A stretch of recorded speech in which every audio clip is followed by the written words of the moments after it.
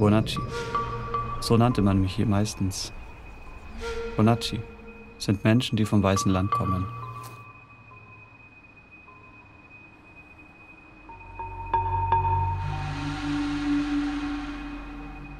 Wenn diese Felsen sprechen könnten, würden sie die Geschichte des Widerstands erzählen. ¿Tú eres